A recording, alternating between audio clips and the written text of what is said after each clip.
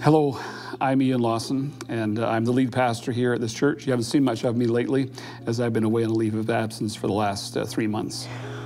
I'm Ruthie, used to be Lawson, now Watson, just recently. I'm the youngest of five, which is fantastic. It has its pros and cons to both.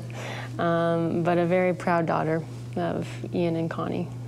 We have uh, been walking through really deep waters these past uh, number of months. Uh, it was about a year ago now that my wife Connie was diagnosed with cancer. Uh, so we watched her decline over these last uh, 10 months, and then she passed away just uh, two months ago now at the beginning of February. And so I've been in the process of kind of putting my life back together now, along with my kids, and have the opportunity to visit with them. But I do look forward to being back here in the next couple of weeks. The day we um, heard mom's diagnosis back in April, I remember that clear as day. It was like earth shattering. Um,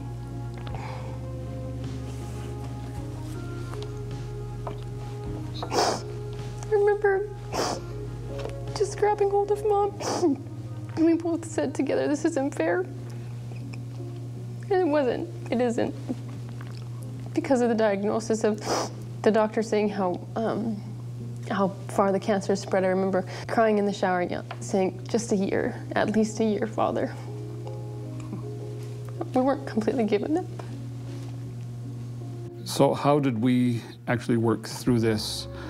I think uh, for me, it may be different than it was for my kids because for me, uh, I've walked with many people through circumstances like this. And uh, so uh, I didn't find myself ever angry at God or doubting um, um, God per se. I, um, Job puts it like this uh, How can I just receive good from the Lord and not evil? Um, I think that we understand we live in a broken world, uh, that it's fallen and needs to be redeemed. And uh, so, illness, sickness, and death is part of this fallen, broken world. I'm not sure my kids all were able to grapple with it in that same way. Yeah, no. I, many moments of anger, very confused. I mean, she doesn't get to be a grandma to my kids, right? So just so mad and confused. I remember I've had many nights where I've actually, like, I yelled to God and asked why. I walk around the street and I see women who are in their 70s or 80s, you know, and it just doesn't make sense. Even grandma, she's 93 and she's ready to go, but the Lord still has her here, and I don't understand that. There is a passage that comes to my mind uh, today thinking about this idea of hope, and it's actually one of my favorite verses from Lamentations. And, and there, Jeremiah uh, writes and says uh, something to this effect in the middle of the short book. He says, um, This I will call to my remembrance, to my mind, and therefore I will have hope. That is, that because of the Lord's love for us, we are not consumed. His compassions, they are new every morning. They will never fail. And then it goes into that verse, chapter 3, verse 23. Uh, Your compassions never fail. They are new every morning. Great is thy faithfulness. I love those words in the midst of a period of real uh, despair and uncertainty for, uh, for that prophet Jeremiah.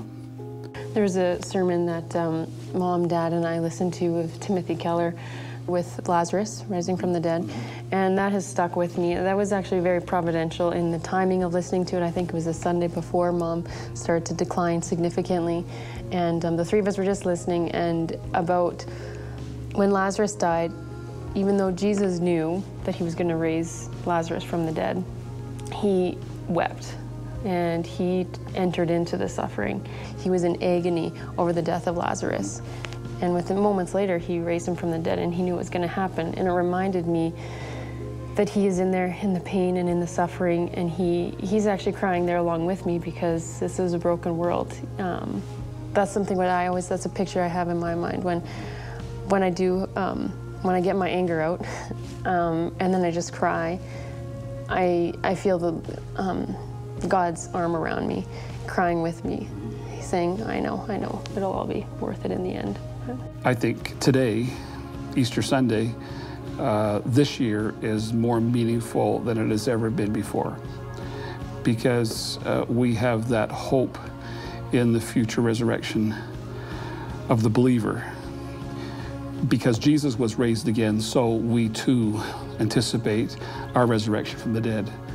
And uh, that gives uh, us a significant hope as we, um, as we try to process the realities of our disappointment and our grief.